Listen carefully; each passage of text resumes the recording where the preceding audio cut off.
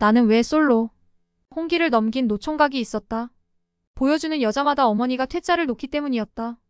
그러자 친한 친구가 충고를 했다. 너희 어머니를 뚝 닮은 여자를 보여드려 봐봐.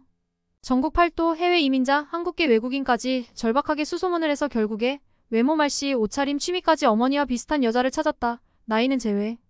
어머니에게 여자를 보여드리자 어머니는 무척이나 좋아하셨다. 이번엔 정말 솔로 탈출이다. 하지만 또 결혼은 실패. 이번에도 결혼은 이루어지지 않았다. 친한 친구가 어떻게 된 일인지 걱정스레 물었다. 어머님 마음에 들었다면서 어떻게 된 거니? 응, 이번엔 아버지가 결사 반대를 하셨어.